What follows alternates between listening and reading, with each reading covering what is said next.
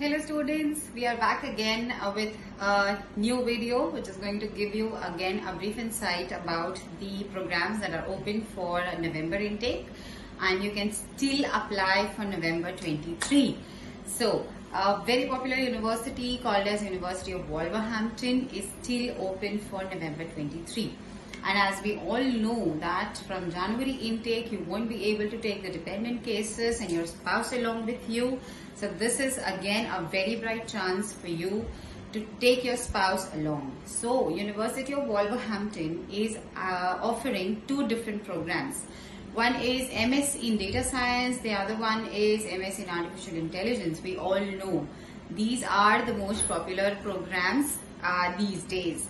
So now about the eligibility criteria. You just have to have a bachelor's degree with a 59%. The bachelor's degree can be 3 years, it can be 4 years. Now the eligibility of the English test. Your IELTS should be 6.5 with no less than 6.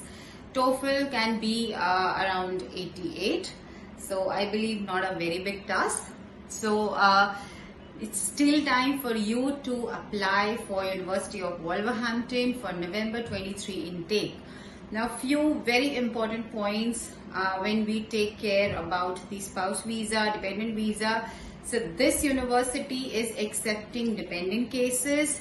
This university is accepting your visa rejection cases. This university is accepting double masters also. So now this is the cherry on the cake you have so many uh, options. So many conditions are getting fulfilled. So this is the right time. Just buckle up your shoes and start applying for the November 23 intake. The last date of application is the deadline if I say. It is 10th of September. And hurry up if you have your scores ready you can apply right away to the University of Wolverhampton for more details, just get in touch with VAC. We are here to give you a free counseling session. We are here to help you out, guide you for all your process, right from the scratch till the end. Thank you.